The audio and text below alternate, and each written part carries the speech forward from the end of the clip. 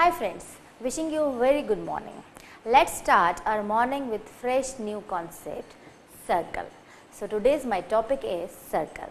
Circle क्या होता है उसको जानने से पहले हम ये जानने की कोशिश करेंगे हमारी डेली लाइफ में हम बहुत तरीके के शेप से दिन में कई बार टकराते हैं लाइक like, अभी जस्ट हम क्लासरूम की ही बात करें तो ये जो बोर्ड है this is rectangular in shape मेरे हाथ में चॉक्स हैं चॉक्स जो है सिलेंडर इन शेप मेरे हाथ में ये पेपर है this is rectangle again square भी हो सकता है, कुछ भी हो सकता है। मेरे सामने जो वॉल क्लॉक है, वो सर्कल शेप की है। हम, मैं जिस व्हीकल से आई हूँ, उसके जो टायर्स हैं, वो राउंड शेप के होते हैं।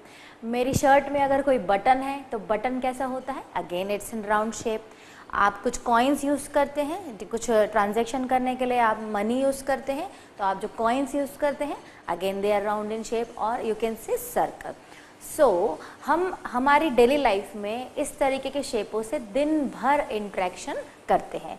सो so, इसका मतलब ये हुआ कि ये जो शेप्स होते हैं ये बहुत इंपॉर्टेंट रोल प्ले करते हैं हमारी लाइफ में। तो आज हम एक बहुत ही इंपॉर्टेंट शेप के बारे में पढ़ेंगे जो कहलाता है सर्कल सर्कल को समझने के लिए हम सबसे पहले कुछ अभी जैसे मैंने आपको एग्जांपल दिए कॉइन है बटन है टायर है, ये आपको ऑलरेडी रिकॉल हो गए तो ये जो होते हैं सर्कल होते हैं. But why they are circular in shape circle को समझने से पहले आप ये समझिए कि कोई चीज़ राउंड शेप में है, गोल शेप में है लाइक बैंगल हो गया, ठीक है? तो वो राउंड शेप वाले जो फिगर्स होते हैं, उसमें से कई फिगर्स जो होते हैं, वो सर्कुलर होते हैं. वो कैसे होते हैं? वो हम देखेंगे, ठीक है? लाइक जैसे मैंने अभी आपको बताया बैंगल हो गया कॉइन हो गया वन रुपी कॉइन है दिस इज़ माय बैंगल कुछ डिज़ाइन है इसमें, ठीक है? बटन हो गया, ये सारे फिगर हम दिन भर देखते रहते हैं और हमें ज़रूर लगता है कि ये क्या है। तो ये these all are circular in shape button हो गया टायर हो गया टायर तो एक ऐसी चीज़ है कि विदाउट टायर व्हीकल ही इमेजिन नहीं कर सकते हम, ठीक है? तो ये हो गया आपका टायर। कोई भी व्हीकल विदाउट टायर नहीं होगा और जितने भी व्हीकल हैं, उनके जो टायर हैं, वो सर्कुलर ही होंगे। So why we say these are circular circular इसलिए कहा जाता है कि एक पर्टिकुलर पॉइंट से बहुत सारे जो पॉइंट्स हैं, उनका डिस्टेंस जो है, वो सेम होना चाहिए। सो मैनी पॉइंट्स मतलब मैं बना नहीं सकती हूँ अनकाउंटेबल पॉइंट्स ठीक है? ये हो गया। इन अनकाउंटेबल पॉइंट्स से, इस पॉइंट का अगर डिस्टेंस सेम है मीन्स मान लीजिए ये टू सेंटीमीटर है तो ये भी टू ये भी टू ये भी टू ये भी two and two two two two सब जगह इसका डिस्टेंस जो है वो टू होना चाहिए इस पर्टिकुलर पॉइंट से इन पॉइंट्स का। तभी वो शेप सर्कुलर शेप कहलाएगा अदरवाइज़ वो राउंड तो है बट राउंड के साथ वो सर्कल है कि नहीं है। है ना? तो सर्कल की पहचान जो होती है, वो ये होती है कि सर्कल जो होता है, उसमें एक पॉइंट से उन सारे पॉइंट्स का डिस्टेंस जो होता है, वो सेम होता है। ये कंडीशन मस्ट है, ठीक है? Otherwise it's in round shape तो but we are talking about circular तो आज हम सारा जो पढ़ेंगे, वो सर्कल के बारे में पढ़ेंगे, ठीक है? तो ये हो गया सर्कल का डेफिनेशन इसको हम अगर जोमेट्रिकल फॉर्म में लिखें तो डेफिनेशन क्या होगा? The collection of all the points in a plane which are at a fixed distance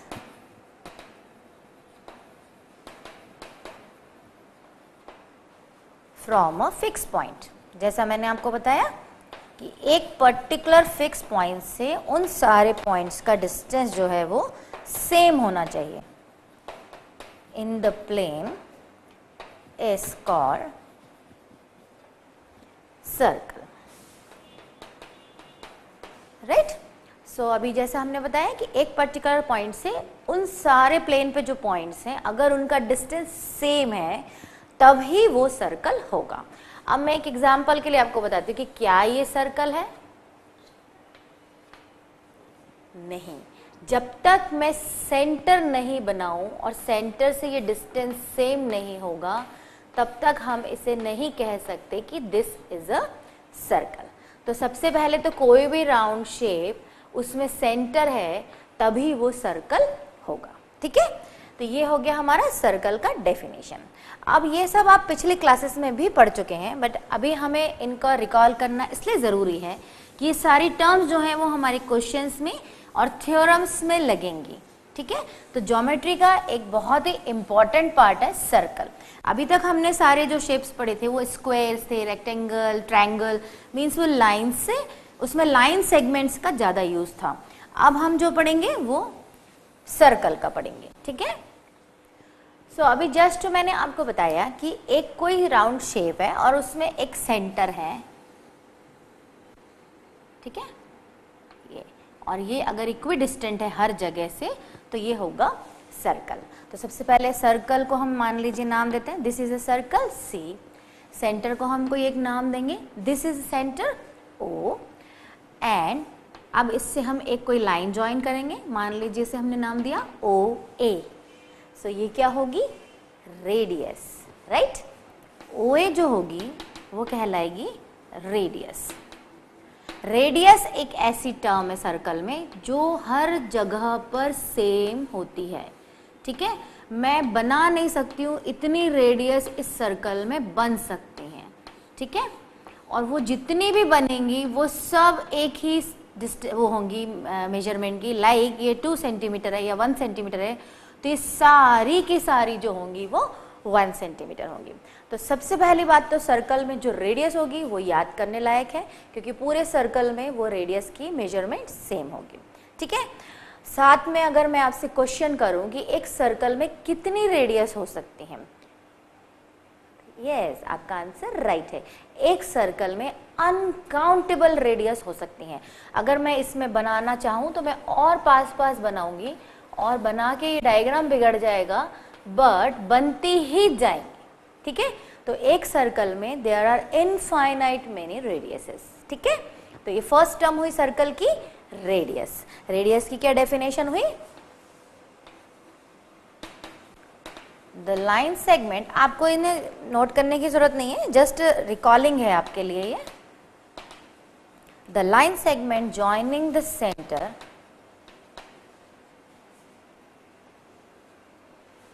and any point on the circle means ऐसा लाइन सेगमेंट जो सेंटर से इस सर्कल की बाउंड्री के कोई भी पॉइंट को ज्वाइन कर रहा है। तो वो कहलाएगा रेडियस ठीक है? तो ये हुआ सर्कल का रेडियस इसी सर्कल में अगर मैंने वापस से बनाया और ये सेंटर बनाया जिसे मैंने ओ नाम दिया था ये सर्कल के अंदर है कि बाहर है? एग्जैक्टली exactly, अंदर है। सो so, अंदर जो भी पॉइंट होंगे कहीं भी सर्कल के अंदर तो वो इनसाइड है ठीक है? और अगर सर्कल के बाहर कोई पॉइंट है कहीं भी हो सकते हैं जो सर्कल के अंदर नहीं है तो वो क्या कहलाएँगे? वो आउटसाइड है राइट right? जो अंदर है, उनको हम कहेंगे interior of the circle interior of the circle and जो बाहर है, उन्हें हम कहेंगे एक्सटीरियर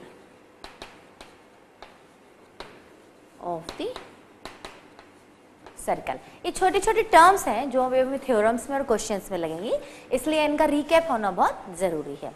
सर्कल के अंदर कोई भी पॉइंट है means inside of the circle if any point is existing तो वो कहलाएगा that point is interior of the circle और अगर कोई बाहर है तो वो कहलाएगा एक्सटीरियर ऑफ़ द सर्कल ठीक है?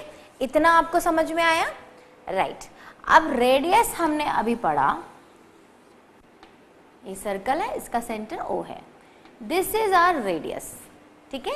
हमने सेंटर से एक ही तरफ़ ज्वाइन किया था। अगर इसी से हम इधर भी ज्वाइन कर दें राइट अब इसे हम कुछ नाम दे दें ए बी ठीक है? हमने क्या किया? अभी तक रेडियस के लिए हम क्या कर रहे थे? सेंटर से सर्कल की बाउंड्री पे जो भी पॉइंट था, उसको हमने ज्वाइन किया एक तरफ़। मीन्स यहाँ से लेके यहाँ तक। अब हमने यहाँ से यहाँ भी अगर ज्वाइन कर दिया तो ये जो लाइन सेगमेंट बना ए बी ये कहलाएगा diameter why this is diameter because it is passing through the centre O याद रखिए नोट करिए डायमीटर एक ऐसा लाइन सेगमेंट है जो सेंटर से पास होना चाहिए सर्कल के, तभी वो डायमीटर होगा। तो अब हम डायमीटर पढ़ेंगे, ये मैं रब कर रही हूँ, ठीक है? आप इसको नोट डाउन चाहे तो कर लें, बाकी this is just a small recap देखिए, मैंने आपको बताया डायमीटर तो हम इसे डायमीटर ही क्यों बोल रहे हैं? अब हम उसके बारे में पढ़ेंगे. This is our centre O अगर हम इतना लेते हैं तो दिस इज़ रेडियस राइट और अगर इसी को और कंटिन्यू कर रहे हैं तो now we are saying this is diameter तो एक और फिगर बना रही हूँ मैं. और मैं आपको बताना चाह रही हूँ कि क्या ये डायमीटर है? सो so दैट हम बता कर सकते हैं कि डायमीटर क्या होता है। अब ये डायमीटर है? नहीं। जबकि ये भी एक लाइन सेगमेंट है सर्कल की दोनों बॉर्डर को टच कर रहा है। ये भी लाइन सेगमेंट है जो सर्कल को बॉर्डर को टच कर रहा है। But why this is diameter and why this is not diameter because it is passing through the centre O अभी मैंने आपको बताया कि कंडीशन ये मस्ट है कि ऐसा लाइन सेगमेंट जो सर्कल के सेंटर से पास हो रहा है तब ही वो डायमीटर कहलाएगा। तो अब ये डायमीटर है क्या? नहीं। And this is diameter yes तो पहले हम डायमीटर के बारे में पढ़ें। ऐसे कितने डायमीटर हो सकते हैं? जैसे सर्कल में हज़ारों रेडियस हो सकती हैं, ऐसे ही सर्कल में हज़ारों डायमीटर हो सकते हैं। बट फिर से रिपीट करूँगे कंडीशन कि वो सेंटर से पास होना चाहिए, तभी वो डायमीटर कहलाएँगे। तो what I said infinite radius हो सकती है सर्कल में तो in same way I can say infinite diameter हो सकते हैं सर्कल में। ठीक है? तो radius and diameter now we are through कि जो लाइन सेगमेंट सेंटर से पास हो रहे हैं, वो सारे के सारे डायमीटर ऑफ़ द सर्कल कहलाएँगे। अब आपके दिमाग में क्वेश्चन आएगा कि जब ये डायमीटर है जो सेंटर से पास हो रहा है तो फिर ये नहीं है तो ये क्या है? Right right? अगर मैंने कोई लाइंस ले ली लाइक ये ले ली, ये ले ली, ये छोटी सी ले ली, यहाँ पर और छोटी सी ले ली, ठीक है? ऐसी हज़ारों बना ली, जो सेंटर से पास नहीं हो रही हैं तो वो कहलाएँगी chord of the circle chord जो होती है सर्कल में, बहुत इंपॉर्टेंट टर्म होती है। Chord and diameter what is the difference between chord and diameter diameter passes through the centre of the circle but chord जो होती है, वो सेंटर से पास नहीं होती। ठीक है? तो ये हो गई आपकी कॉर्ड। अब आपके दिमाग में डेफिनेटली क्वेश्चन आएगा कि जो कॉर्ड होती है, वो सेंटर से पास नहीं होती बट एक कॉर्ड ऐसी भी तो हो सकती है जो सेंटर से पास हो रही हो। Right right. तो अगेन ये कहलाएगा डायमीटर क्योंकि ये सेंटर से पास हो रहा है एंड इसे हम बोल सकते हैं diameter is longest chord of the circle means diameter भी एक कॉर्ड ही है बट डायमीटर और अदर कॉर्ड्स में डिफरेंस सिर्फ़ इतना है कि डायमीटर सेंटर से पास होगा तो डायमीटर एक ऐसी कॉर्ड है। मैं सिर्फ़ डायमीटर का फिगर बना देती हूँ। लाइक हमने ये ले लिया। तो डायमीटर एक ऐसी कॉर्ड होगी, जो सर्कल की सबसे लंबी कॉर्ड होगी, क्योंकि बाकी जितनी भी होंगी, वो उससे थोड़ी छोटी होंगी। देखिए, मैं बना के बता देती हूँ। ये सारी कॉर्ड्स हैं। ये डायमीटर से छोटी हैं। इधर भी मैं सारी बना देती हूँ। देखिए, जितनी भी मैंने डॉटेड लाइंस या कॉर्ड्स बनाई हैं, वो इस पर्टिकुलर लाइन से छोटी है। तो कॉर्ड क्या हुआ? सिंपल कॉर्ड जो सेंटर से पास नहीं हो रही है। और अगर वो सेंटर से पास हो रही है तो वो बन जाएगा डायमीटर एंड डायमीटर को हम कॉर्ड बोल सकते हैं बट डायमीटर कैसी कॉर्ड है? Diameter is the longest chord of the circle objective type या fill in blanks type questions में ये वाले क्वेश्चंस ज़रूर आते हैं। What is the difference between diameter and chord या डायमीटर क्या होता है? या रेडियस क्या होता है? या कॉर्ड क्या होता है? ठीक है? तो जैसे हमने बताया कि सर्कल में इनफाइनाइट रेडियस हो सकते हैं इनफाइनाइट डायमीटर हो सकते हैं, ऐसे ही इनफाइनाइट कॉर्ड हो सकती हैं। आप चाहें तो खुद बना के एक्सपेरिमेंट कर सकते हैं। ये कॉर्ड हो गई, ये कॉर्ड हो गई, ये हो गई, ये हो गई, ये हो गई, ये हो गई, ये हो गई, इधर हो गई। जितनी चाहे आप बिना सेंटर से पास करे वाली कॉर्ड्स बना सकते हैं। मेन सर्कल में कॉर्ड्स भी इनफाइनाइट मैनी होती हैं, ठीक है? पर अगर वही कॉर्ड सेंटर से पास हो जाए तो वो सर्कल की सबसे बड़ी कॉर्ड होती है। मेज़रमेंट के हिसाब से वो सर्कल की सबसे बड़ी कॉर्ड होती है, जिसे हम डायमीटर कहते हैं, ठीक है? तो अभी आपको डायमीटर क्लियर हुआ एंड कॉर्ड क्लियर हुआ। कॉर्ड को पढ़ते हुए हम एक और इंपॉर्टेंट टर्म पढ़ेंगे, जो हमारी बहुत काम में आएगी। लाइक like, मैंने ये कॉर्ड बना दी। अब हम कॉर्ड पे आ जाते हैं। This is our chord A B और ये सेंटर है ओ ठीक है? अब इस सर्कल का मान लीजिए मैंने पीस कर दिया या मेरे पास ये बैंगल था या कुछ भी चीज़ है जो सर्कल है ठीक है? इसको मैंने इस जगह से काट दिया। राइट राइट जब इस जगह से काटा तो मेरे पास क्या बना? एक फिगर ऐसा बना। एक फिगर देखिए एक्यूरेसी तो नहीं आएगी मेरे बनाने में। बट ये अंदाज से मैं बना रही हूँ, एक फिगर मेरा ये बचेगा। इनको ज्वाइन कर देंगे तो वापस ये सर्कल बन जाएगा, ठीक है? ये जो दो पार्ट्स हमने किए ऑब्वियसली दिख रहा है ये छोटा है और ये बड़ा है। मीन्स कॉर्ड ने ऐसा पीस किया कि एक पीस छोटा बना और एक पीस काफ़ी बड़ा बना। जो छोटा है, ये जो कर्व है, ये कहलाएगा माइनर आर्क आर्क क्या होता है? मैं अभी बता रही हूँ आपको। और ये कहलाएगा मेजर। सबसे पहले तो ये माइनर पार्ट हो गया और ये मेजर पार्ट हो गया। पार्ट को सर्कल में जो वर्ड यूज़ करेंगे दैट इज़ सेक्टर तो ये माइनर सेक्टर हो गया और ये मेजर सेक्टर हो गया। ठीक है? अब ये जो कर्व होती है सर्कल की जो कर्विकल जो शेप है, ये ये कहलाएगी माइनर आर्क बिकॉज़ ये छोटी है। एंड सिमिलरली ये बड़ा पार्ट है तो ये जो बड़ी वाली कर्व है आर्क है ये कहलाएगी मेजर आर्क ठीक है?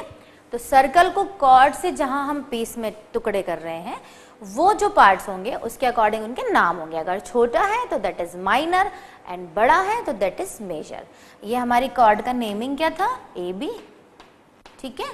तो हम कैसे लिखेंगे? Minor arc A B minor arc A B तो हमें अंडरस्टूड होगा कि हम इस पार्ट की बात कर रहे हैं। और अगर हम लिखेंगे major arc A B means it is understood that we are talking about this part ठीक है? जो बड़ा पार्ट है दैट इज़ मेजर एंड जो छोटा पार्ट है that is minor right so हमने देखा interior exterior and chords minor major सारा हमने पढ़ा। ठीक है? सो so, अभी हमने देखा radius chord minor arc major arc minor sector major sector एक बार इनकी छोटी सी डेफिनेशन हम पढ़ लें। लाइक रेडियस रेडियस हमने पढ़ा। Line segment joining the center,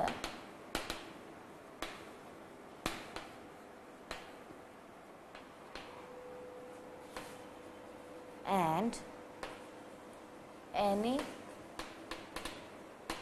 point on the circle. Is called radius ठीक है? इसको हमने छोटा सा फिगर बना के समझा। ये सेंटर है, यहाँ से। कोई ज़रूरी नहीं कि ऐसा लें, आप कुछ भी ले सकते हैं, ठीक है? This is O this is this is means O A and O B are radius and एक सर्कल में इनफाइनाइट रेडियस हो सकती है। ठीक है? फिर हमने दूसरी इंपॉर्टेंट टर्म पढ़ी chord. If we take two points,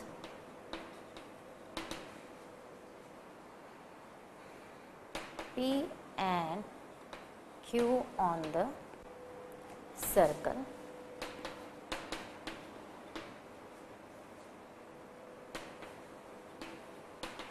The line segment PQ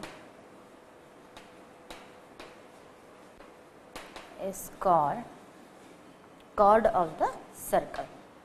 Means हमने पढ़ा कि एक सर्कल में हमने कोई दो पॉइंट लिए, कहीं भी हो सकते एक यहाँ पर है, एक यहाँ पर है। पी क्यू पी क्यू ठीक है? उनको हमने ज्वाइन किया। तो ज्वाइन करने से जो लाइन सेगमेंट बन रहा है that is chord of the circle. और उसी में हमने पढ़ा कि अगर यही कॉर्ड ज़रूरी नहीं कि यहाँ हो, सेंटर से भी पास हो सकती है। यही सेम पी क्यू जो है, वो सेंटर से भी पास हो सकता है। तो वो क्या हो जाएगा? डायमीटर बन जाएगा। तो diameter is also chord but वो कैसी कॉर्ड होगी? जो सर्कल की सबसे लॉन्गेस्ट कॉर्ड होगी। बाकी जितनी भी कॉर्ड हम सर्कल में बनाएँगे, आप घर पे एक्सपेरिमेंट करके खूब सारी ड्रॉ करिए। कहीं से कुछ भी ज्वाइन करिए एक्सेप्ट सेंटर वाली, जितनी भी आप बनाएँगे, वो सारी छोटी होंगी, ये कन्फर्म है। ठीक है? तो डायमीटर अगर हमने बनाया तो वो होगा सर्कल की लॉन्गेस्ट कॉर्ड क्योंकि बहुत इंपॉर्टेंट प्रॉपर्टी है, इसलिए मैं बार बार आपको रिपीट कर रही हूँ। ठीक है? थर्ड हमने पढ़ा आर्क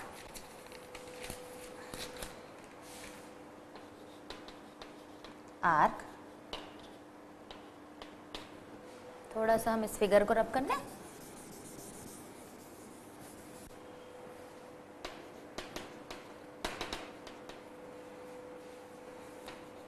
a piece of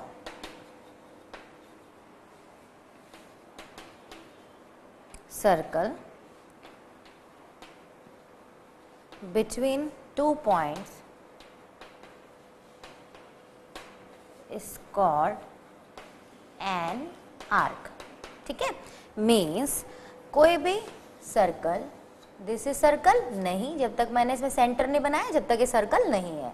ये हो गया हमारा सर्कल सर्कल में कोई भी दो पॉइंट मान लीजिए ये है, और कहीं भी आपको जहाँ मर्ज़ी वहाँ ले लीजिए, ये ले लीजिए। ये जो पार्ट है, ये माइनर और ये जो पार्ट है, ये मेजर इसको मैंने ज्वाइन कर दिया तो ये माइनर रीजन हो गया एंड ये मेजर रीजन हो गया। मीन्स छोटा जो है, वो ऑलवेज माइनर एंड बड़ा जो है, वो मेजर अब इसी को कंटिन्यू करते हुए आपके दिमाग में डेफिनेटली क्वेश्चन आएगा कि मैम ने भी यहाँ छोटा सा लिया। अगर हम यहाँ से टुकड़ा कर दे सर्कल का तो? सेंटर से अगर हमने सर्कल के दो पीस करे तो? ज़रूर थोड़ी कि हम बड़ा और छोटा ही पीस करें। नहीं तो हमने सेंटर से इसके दो पीस कर दिए। ठीक है? तो जब सेंटर से अगर हम सर्कल के दो पार्ट्स करते हैं तो ये जो दोनों पार्ट है, कैसे हो जाएँगे देखिए, ध्यान से देखिए, एक पार्ट ये हो जाएगा, एक पार्ट ये हो जाएगा मीन्स हमने इक्वली सर्कल को दो पार्ट्स में डिवाइड कर दिया। तो वो जो इक्वल दो पार्ट्स में डिवाइड किया, वो कहलाता है सेमी सर्कल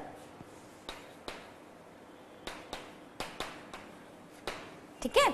मीन्स अगर हमने छोटा और बड़ा पार्ट किया तो तो वो जो आर्क है, जो कर्विकल शेप है, ये माइनर हो गया और ये मेजर हो गया, ठीक है?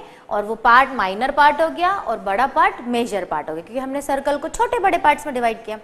अभी हमने क्या करा? बिल्कुल इक्वली डिवाइड कर दिया। इक्वली किया मीन सेंटर से डिवाइड कर दिया, या डायमीटर बना के डिवाइड कर दिया। एक ही बात है सेंटर से जो भी पास हो रहा है दैट इज़ डायमीटर हमने सर्कल को, ज़रूरी नहीं है कि हम हमेशा ऐसा शेप लें, हमने ये डायमीटर से यहाँ से डिवाइड कर दिया। तो ये और ये जो दो पार्ट बने, ये कहलाएगा सेमी सर्कल मीन सर्कल का अगर इक्वल पार्ट डिवाइड हो रहा है, दोनों इक्वल हैं तो वो कहलाएगा सेमी सर्कल और you can say half of the circle तो हाफ़ वर्ड यूज़ ना करते हुए हम क्या वर्ड यूज़ करेंगे यहाँ पर? सेमी सर्कल ठीक है? तो ये एक और इंपॉर्टेंट टर्म होती है सर्कल में सेमी सर्कल एंड एक और इंपॉर्टेंट टर्म सर्कल में, ये सर्कल है, ये हमारी रेडियस है, ठीक है? ये दो रेडियस है, मान लीजिए हमने ली this is O A B अभी जस्ट मैंने आपको बताया, ये जो आर्क होगी this is minor this is major ये पार्ट जो है this is minor and this is major तो इसी को हम दूसरे वर्ड्स में, ये जो पार्ट है, इसे कहेंगे माइनर सेक्टर एंड ये जो बड़ा वाला पार्ट है, जिसे हम लाइन से शेड कर रहे हैं, ये कहलाएगा मेजर सेक्टर ठीक है? मेज छोटा, बड़ा। और अगर वही हमने इक्वली डिवाइड कर दिया तो जस्ट मैंने आपको बताया, ये दो रेडियस है बट अब ये पूरी डायमीटर जैसी डिवाइड कर रही हैं, ठीक है? तो अब ये हो जाएगा सेमी सर्कल राइट ये तो ऊपर का पार्ट है सेमी एंड नीचे का पार्ट है, वो भी सेम ही। और इन दोनों को अगर ज्वाइन कर दें तो again it will become a circle तो सर्कल की ये सारी इंपॉर्टेंट प्रॉपर्टीज़ जो मैंने आपको बताई, वो आपको माइंड में रखना है। प्लस हमने जो पहले पढ़ी है ट्रायंगल से related property line line segment जितना भी हमने पढ़ा है parallel lines and all that ऐसा नहीं है कि उसे आप भूल जाएँ। वो भी इन क्वेश्चंस में या थ्योरम्स में अप्लाई होगा। लास्ट हमने जो टॉपिक लिया था कॉन्ग्रेंसी ऑफ़ द ट्रायंगल वो भी कहीं ना कहीं इनमें अप्लाई होगा। मींस ऐसा नहीं है कि हम सर्कल पढ़ रहे हैं तो सिर्फ़ सर्कल के बारे में ही पढ़ेंगे। पिछला जितना हमने ज्योमेट्री में पढ़ा है वो भी यहाँ अप्लाई होगा। तो वो सब भी आपको रिकॉल रखते हुए हमें आगे बढ़ना है। सो so, अब हम स्टार्ट करेंगे। बहुत ही सिंपल सी छोटी सी थ्योरम है। सर्कल की एक खासियत है, इसकी थ्योरम जो है बहुत ही छोटी छोटी होती हैं। So theorem is theorem number one of this topic equal equal chords of a circle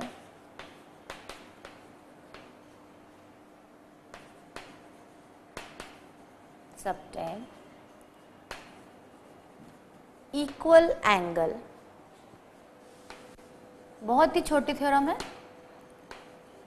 at the centre ठीक है? मीन्स एक सर्कल ऐसा हमें लेना है, जिसमें ये तो हो गया हमारा सेंटर ठीक है? इक्वल कॉर्ड्स मीन्स कॉर्ड दी हुई है जो इक्वल है. लाइक like मैंने एक ये ले ली, एक ये ले ली.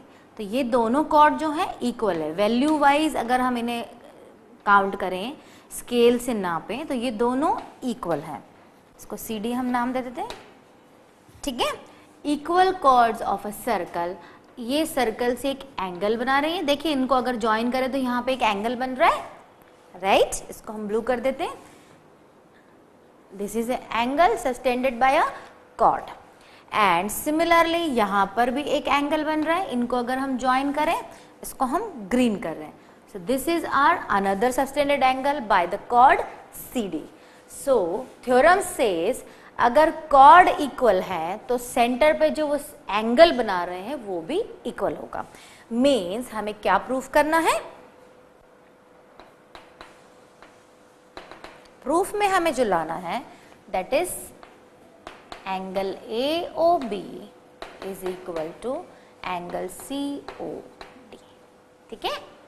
सिंपल सा प्रूफ रहेगा कॉन्ग्रेंसी हम पढ़ चुके हैं। और जैसा मैंने आपको बताया कि पिछला चैप्टर जो हमने पढ़ा है, वो यहाँ पर बहुत ही काम में आएगा। तो देखिए हम कैसे फटाफट प्रूफ करेंगे। ये हमें टू बी प्रूफ में है। ठीक है? दिस इज़ हमें to be proved now we'll start our theorem.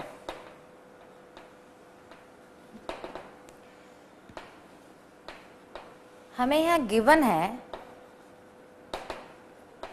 Two equal chords जो कि बहुत ही इंपॉर्टेंट चीज़ दी हुई है कि दोनों कॉर्ड्स जो है वो क्या है? इक्वल है। और उनके नाम हमने लिए A B and C D right and हमें जो प्रूफ करना है दैट इज़ ये तो हमें ट्रायंगल भी क्या करना पड़ेगा? यही लेना पड़ेगा।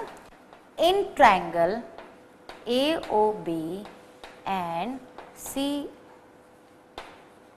C O D यही ट्रायंगल क्यों लेने पड़ेंगे? क्योंकि इन्हीं से रिलेटेड एंगल हमें इक्वल लेके आना है राइट हमने ले लिया। अब आप खुद ही देखें यहाँ पर आपको बहुत इजीली दिख जाएगा। ओ ए क्या है? रेडियस ओ भी क्या है? Radius O C O D and जितनी भी अगर होती, वो सारी क्या है? रेडियस एंड सारी रेडियस सर्कल की क्या होती है? इक्वल होती है. तो हमें फ़र्स्ट चीज़ तो बिल्कुल आसानी से मिल गई. O A equal to O C and same O B equals to O D यहाँ पर आप लिखेंगे all are because all are radius दो चीज़ तो हमें मिल गई. तीसरी हमें क्वेश्चन में ही दी हुई है. A B equals to C D क्यों? बिकॉज़ उन्होंने कहा है कॉर्ड्स आर इक्वल ठीक है? तो थ्योरा हमारा तो यू ही प्रूफ हो गया है। तीनों एस एस एस देखिए, ये भी एस ये भी एस ये भी एस सो आप लिखेंगे by S S S triangles are congruent इसे मैं यहाँ कंटिन्यू कर लेती हूँ। By S S S these two triangles are congruent और जब कॉन्ग्रेंसी आ गई तो हम क्या करते हैं? सीपीसीटी लगा देते हैं।